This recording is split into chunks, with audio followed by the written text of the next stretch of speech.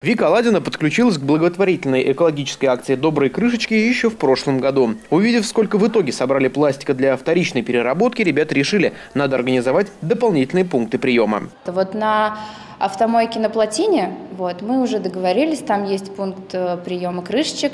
Вот, сейчас договариваемся о пунктах приема в магазинах, чтобы людям было проще сдавать крышечки, потому что проще собрать, выйти, и как раз магазин рядом ты сдал. В этом году к акции присоединились не только ученики 14-й школы. Желание сделать город чуть чище и при этом помочь детям в трудной жизненной ситуации от школьников передалось и их семьям. Всей семьей, конечно, прям и мама, и папа, и бабушки все собираем, и друзья у меня все копим, все приносим, все собираем. Как объяснила нам Анна Хрусталева, учитель биологии 14-й школы, схема отправки собранного пластика на переработку понятна, а главное, есть уже договоренности с заводом на территории России, который будет этим заниматься. Когда э, крышечки будут собраны, мы бутылочки эти все, наши красивые разноцветные, повезем э, на центральный пункт сбора в город Тверь.